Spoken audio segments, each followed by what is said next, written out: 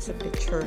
So itong application na to ang madalas na ginagamit ng mga YouTuber kapag gumagawa sila ng uh, thumbnail sa mga videos nila. Okay?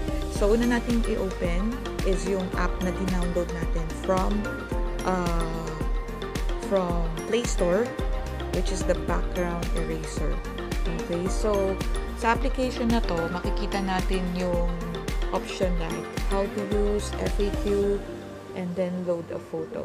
So, ang una natin gagawin is kunin natin yung picture na gusto nating tanggalan ng background. So, itap lang natin yung load a photo. And then, ang napili natin is yung picture ni Miss, ni Miss Ann Curtis. Ayan. So, dito medyo konti lang yung background uh, ng picture na to. So, makikita natin yung up, down, left, and right. So, dito pwede nating i-adjust. So, for example, mas malaki yung background, pwede nating i-move yung arrow kung hanggang saan lang yung picture na tatanggalan natin ng background. So, since konti lang naman siya, so ito na lang sa may right side. I-move lang natin siya, i-move lang natin ng konti, pero para yung part na natira is hindi na natin buhayin matatanggal na lang siya. And then, i-click lang natin yung gun.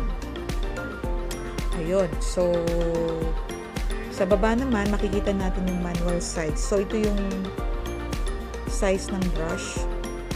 So, yung mas mababang number is yung mas maliit ang brush. And then, the higher the number, yun yung mas malaki yung size ng brush. So, meron ditong manual, magic, auto, extra, prepare, and zoom.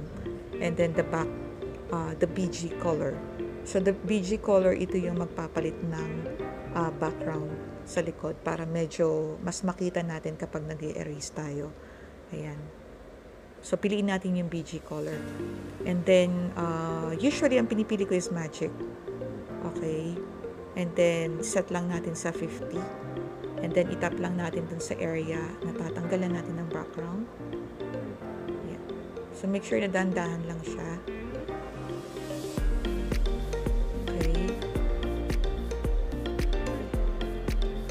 So, medyo litan natin yung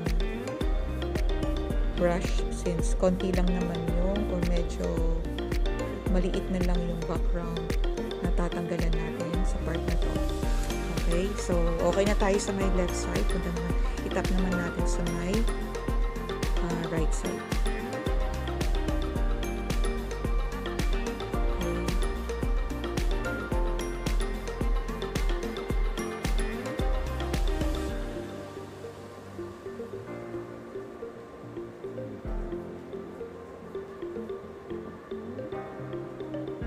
Yun.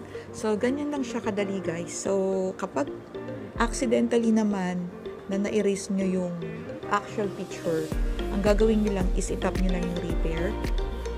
Okay, yung repair sa baba. And then, ibabrush nyo lang siya. And then, babalik na siya sa dati.